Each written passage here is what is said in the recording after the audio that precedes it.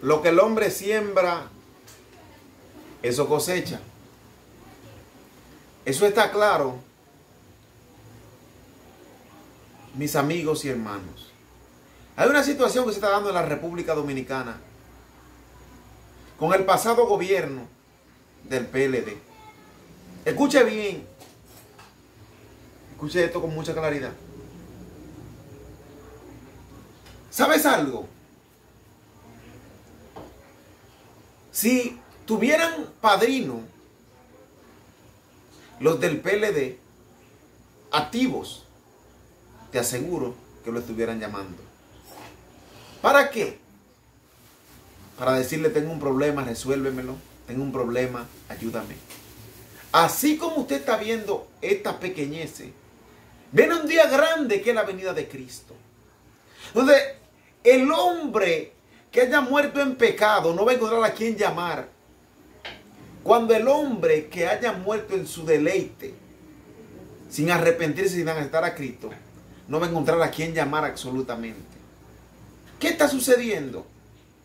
Si hubiese sido un tiempo atrás, que una de estas gente estuviera hoy con un problema con la justicia, hubiese encontrado a quien llamar sin ningún problema y el problema se lo hubiesen resuelto. Pero así como muchos hoy no encuentran a quien llamar para que le resuelva el problema, viene un día que lo más grande de la tierra, lo más conocido, lo más famoso, no va a encontrar a quien llamar.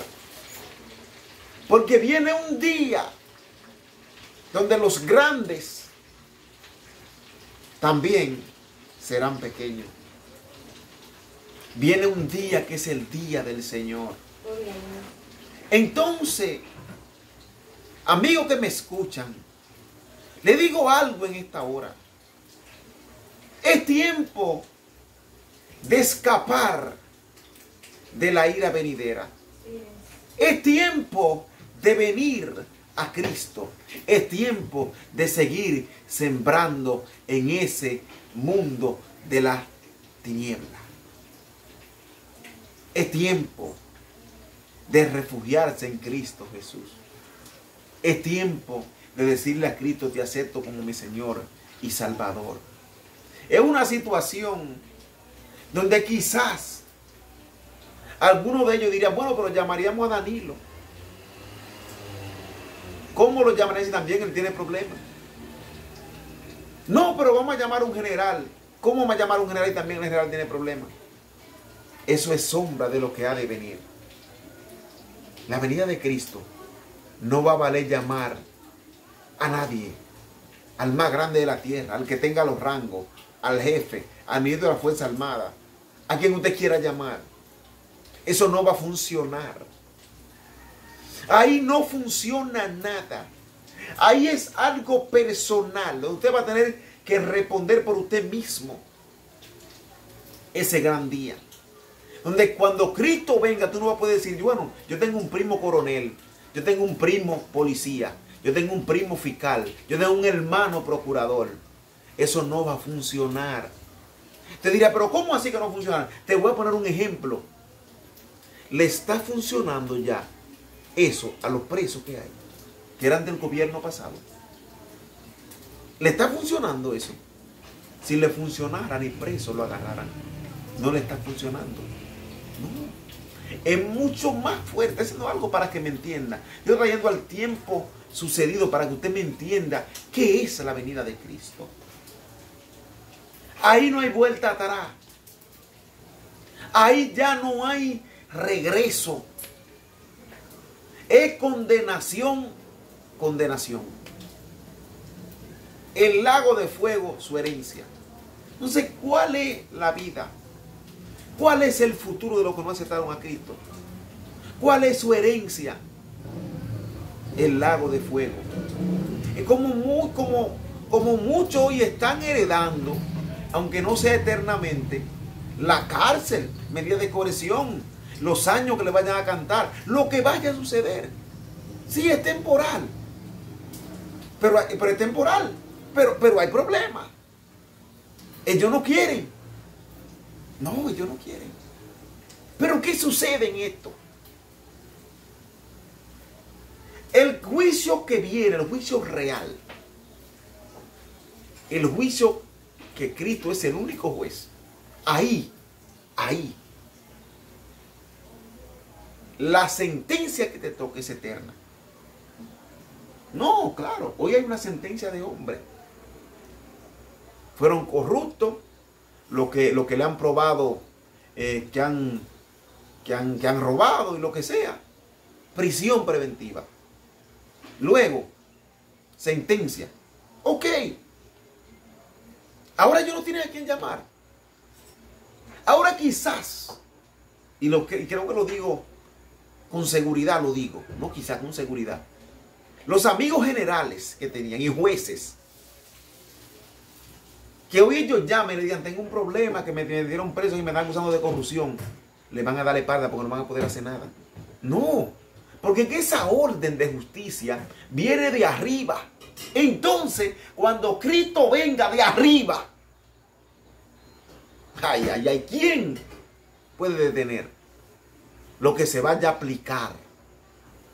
¿Quién va a poder detener lo que se vaya a aplicar para cada pecador? Para cada persona que no se arrepintió de su pecado, que murió en su pecado. Porque nosotros los cristianos somos pecadores arrepentidos que nos arrepentimos de nuestros pecados. Pero hay personas que no se arrepienten de su pecado, no se quieren apartar de su pecado. Esas personas van a heredar en el día de juicio condenación eterna. Es una situación alarmante la que está sucediendo. ¿Cuánta prisión por corrupción? En el día del juicio que Cristo venga va a haber cuánta sentencia por el pecado. Cuánta sentencia por no aceptar que Cristo murió por ti. Para que tú lo aceptes como Señor y Salvador. Para limpiarte con su sangre. Pero te encontraste que lo deleite de este mundo y que darle gusto a la carne es mejor que eso. Entonces cuando llegue el día Tú no vas a poder llamar a las mujeres que te sonsacan. Tú no vas a poder llamar a los hombres que te dan tu cuarto para que te saquen del lago de fuego. Tú no vas a poder llamar a los que te mandan los chelitos de allá afuera para tú hacer tu vagamundería. ¿Y dónde están ellos? También junto contigo si no se arrepienten, en el mismo sitio, condenado. Porque usted no va a decir a mí que dos personas que estén presos los dos, ¿qué se pueden resolver dos presos? Entonces, en el día, escuche bien, el día del juicio, cuando Cristo venga, estarán entonces todos presos en el lago de fuego, que se van a resolver uno al otro. Hoy muchos de esos que están presos, creo que hay unos 10 presos ya, quisieran llamar a alguien y decirle resuelve este problema.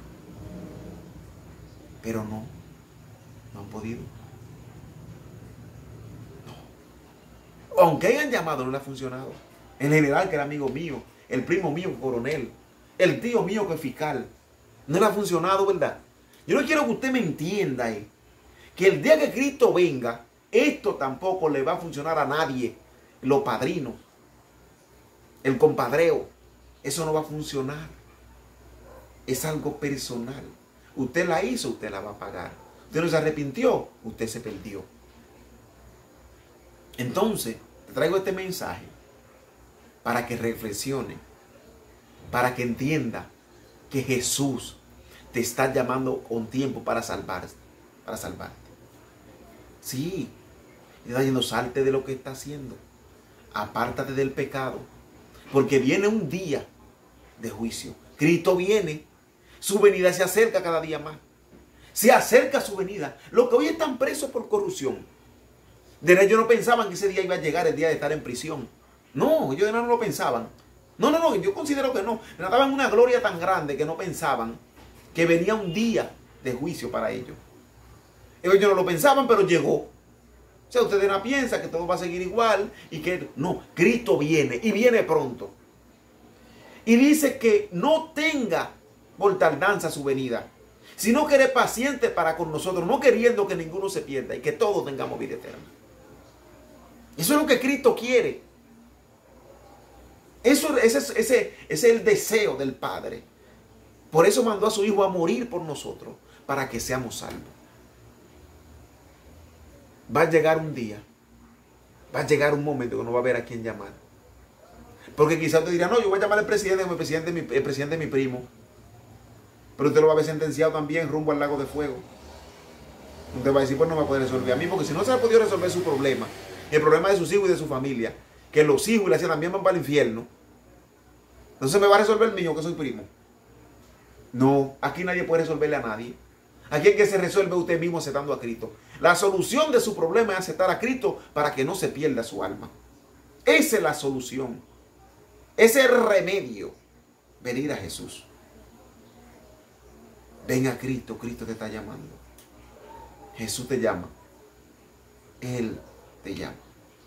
Jesús te dice en esta hora, yo no quiero que tú te pierdas, yo te amo.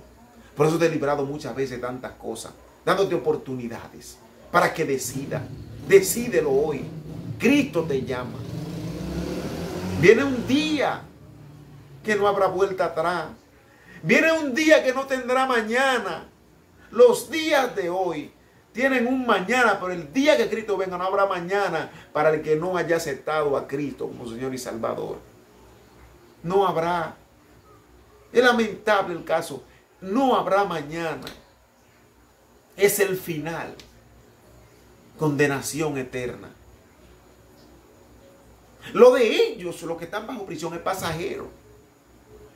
Eso es pasajero, los que están bajo prisión. Por corrupción y por otras cosas más. Eso es pasajero. Sí, eso ahorita pasa. Sean 30 años, no importa, pero va a pasar. Pero yo estoy hablando de algo eterno, estoy haciendo una comparación para que me entiendan. Que hoy hay personas que no tienen a quien llamar para salir de la prisión. Que no tienen a quien llamar para que lo libre del problema de lo que ellos mismos cometieron, de lo que ellos mismos hicieron.